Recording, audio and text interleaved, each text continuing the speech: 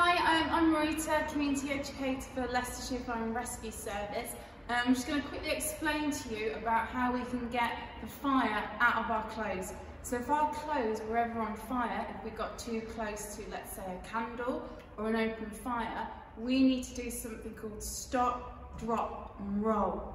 So the reason we do the stop, drop and roll is to get the flames out of our clothes. So if we all say this together, so it's stop, drop, roll. And then, if you want, you can have a practice and I'll show you how to do it on the floor. So you need to imagine that my clothes are on fire, I've stopped, I've dropped on the floor, and I'm going to cover my face with my hands to protect my face. Because flames go upwards, we need to protect our face, okay? So I've stopped, I've dropped, I've got my face covered, and I'm going to roll.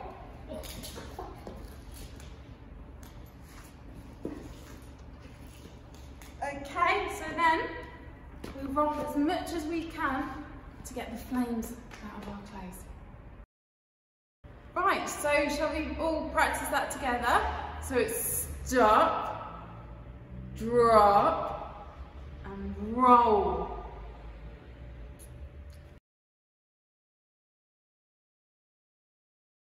Hello. Unfortunately, we've not been able to come in and see you, but we still wanted to bring you some really important safety messages from Leicestershire Fire and Rescue Service. This is my smoke alarm. Now, you may not have heard that word before, smoke alarm. What I would like you to do is try and count how many smoke alarms you can see on the ceiling of the room you're sitting in. So they will look very similar to this, they may be white, they may have some coloured stickers on there. So I'm going to ask our teacher to pause the video and try and count how many smoke alarms you can see. Brilliant. Did you manage to count them? How many were they? Brilliant. So, our smoke alarms keep us safe. Our smoke alarms are always on the ceiling and they have a little nose that smells smoke. And if it smells smoke, it will sound to tell us that we need to leave where we are. We practice this at school on what to do at school, but we need to know what to do at home. Now our smoke alarm at home may sound different than our smoke alarm at home, so I'm going to press this smoke alarm so you can hear it. So if anyone wants to put their fingers in their ears, they can do. Is everybody ready?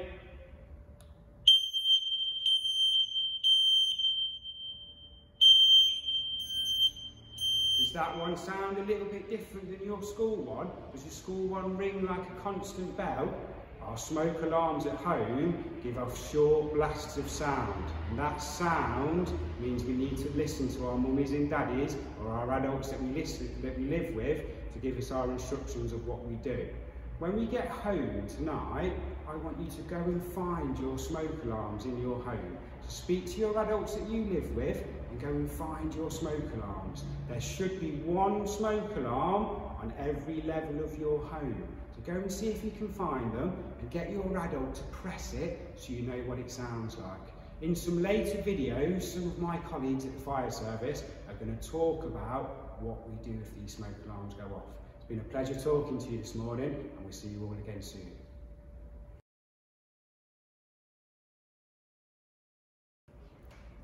Hi, my name's Catherine and I'm going to talk to you about your plan if your smoke alarm goes off. Michael's already told you about how smoke alarms work. They use their nose to sniff out smoke and if there's smoke it means there might be a fire and we need to get out our house. So if you think about a fire, which direction does the smoke go? Yeah, that's right, the smoke goes up and the smoke will fill a room right up to the ceiling, all the way down, all the way down, all the way down, to about here. So we've got some clear air at floor level. So if we're getting out our house, where's the safest place for our heads and our noses and our mouths to be? Yes, we're going to need to get on the floor when we get out.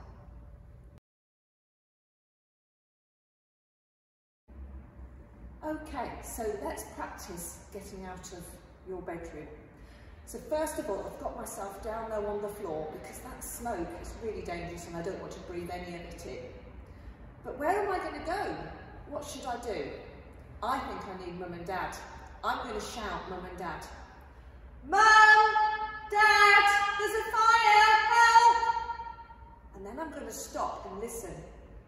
And when I hear them shout back, I'm going to crawl towards them so we can all meet on the landing. So let's crawl under the smoke. Mum! Dad! And listen and crawl to mum and dad.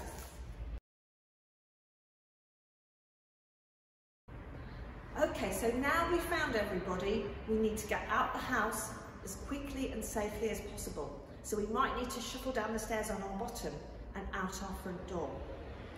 What do we need to do now? If our house is on fire, we might need to call somebody. Who do you think that might be? Yes, we need to call the fire service.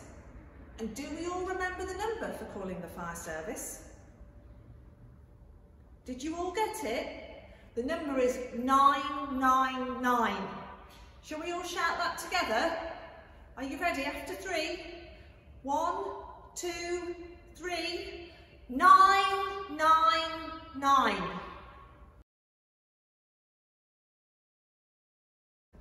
So now I'm going to phone 999, but this is a pretend call. We never phone 999 unless it's an emergency. So if you have a listen to what I do and then you can practice it later, watch carefully because I'm going to ask you something about this. So I'm dialing 999. Oh yes, please, can you have the fire service? There's a fire in my house. Yes, my address is 1 Main Street, Leicester, LE1 2AB. We're all out the house, please come.